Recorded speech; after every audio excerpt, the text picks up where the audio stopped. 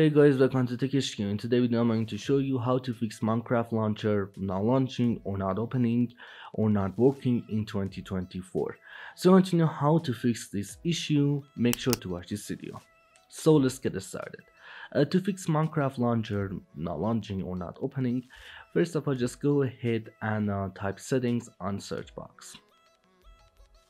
Now click on settings uh, then guys all you have to do is just go ahead and click on apps.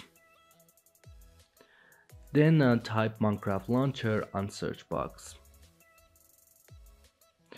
And now guys all you have to do is just go ahead and uh, select minecraft launcher and then click on advanced options. Wait for a few seconds and now just scroll down and click on repair from right over here. All you have to do is just go ahead and click on repair. Now go back to the Windows settings. Type gaming services.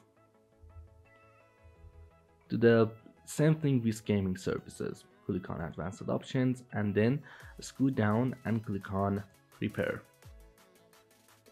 Now guys all you have to do is just go ahead and relaunch Minecraft launcher. Sometimes it works. Just go ahead and try to launch Minecraft launcher.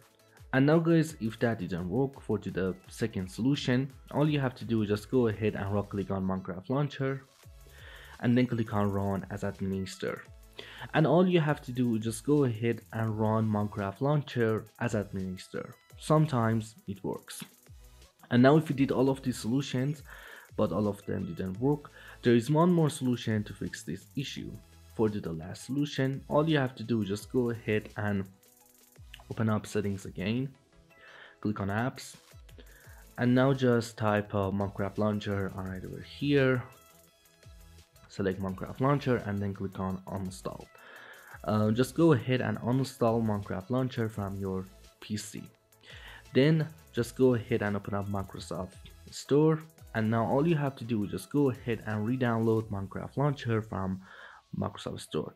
For the last solution, all you have to do is just go ahead and reinstall Minecraft Launcher. In most of the times, it works.